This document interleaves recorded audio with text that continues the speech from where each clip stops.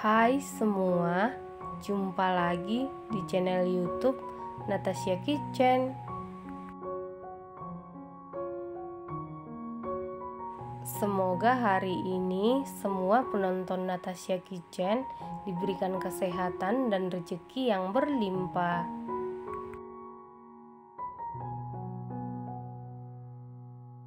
Di video kali ini, saya mau buat bolu dengan tiga bahan, hasilnya matang dan mengembang dengan sempurna.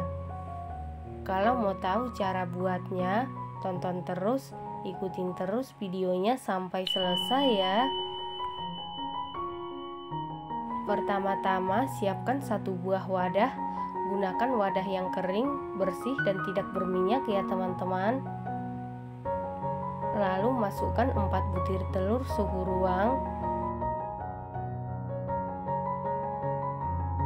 125 gram gula pasir setara dengan 9 sendok makan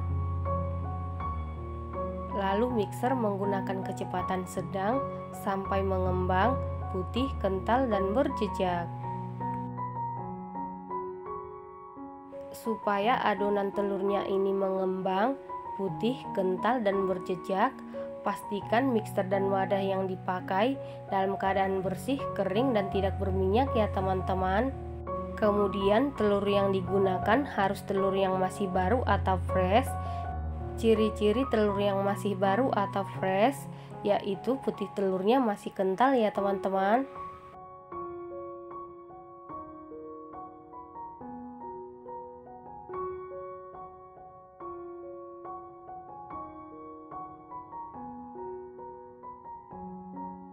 Setelah sekitar 10 menit di mixer menggunakan kecepatan sedang, ini sudah mengembang putih kental dan berjejak. Selanjutnya, masukkan 125 gram tepung terigu protein sedang setara dengan 12 setengah sendok makan. Dimasukkan secara bertahap atau sedikit demi sedikit. Lalu mixer menggunakan kecepatan paling rendah sampai tercampur saja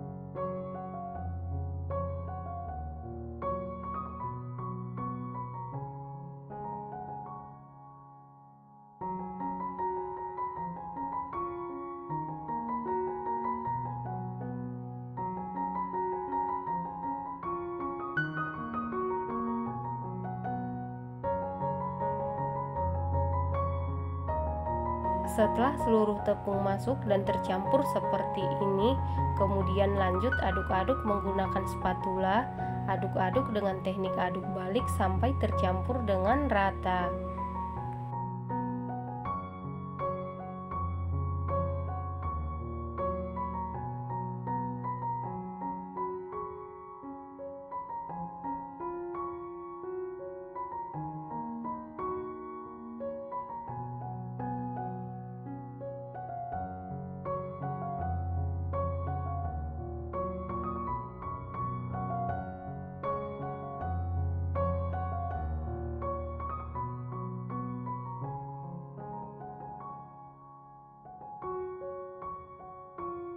Setelah tercampur rata seperti ini, sisihkan sebentar. Selanjutnya, siapkan loyang, lalu olesi dengan karlo. Karlo terdiri dari satu sendok makan tepung terigu, satu sendok makan margarin, dan satu sendok makan minyak goreng. Loyang yang saya pakai ukuran 18 x 7 cm ya teman-teman.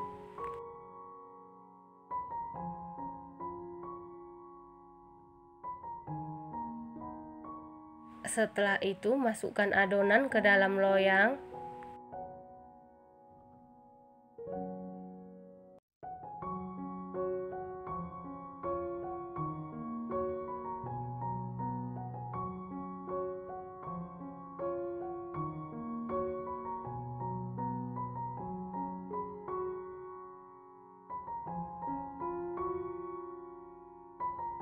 Kemudian ratakan adonan memakai sumpit atau tusuk sate.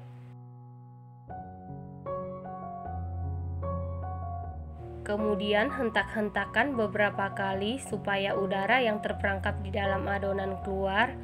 Selanjutnya adonan ini siap kita panggang dan sebelumnya ovennya ini sudah dipanasi di suhu 185 derajat celcius api atas bawah selama 15 menit dan ini ovennya sudah dalam keadaan panas kemudian masukkan loyang yang berisi adonan ke dalam oven lalu panggang di suhu 185 derajat celcius api atas bawah selama 50 menit sampai matang dan sesuaikan dengan oven masing-masing setelah sekitar 50 menit dipanggang, ini bolunya sudah matang. Untuk mengecek kematangan bisa dites tusuk. Apabila tidak ada adonan yang lengket berarti sudah matang. Kemudian angkat dan keluarkan dari oven. Selanjutnya langsung keluarkan bolu dari loyang.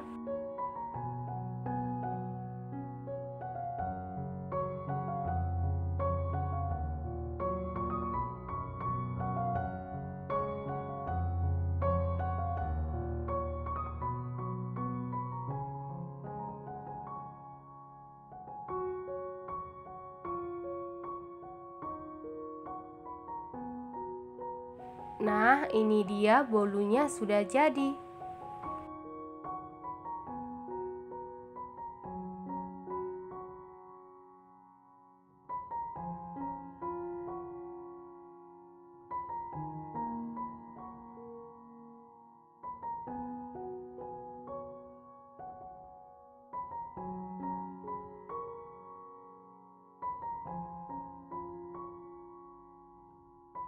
Setelah bolunya sudah dingin, kemudian potong-potong sesuai selera.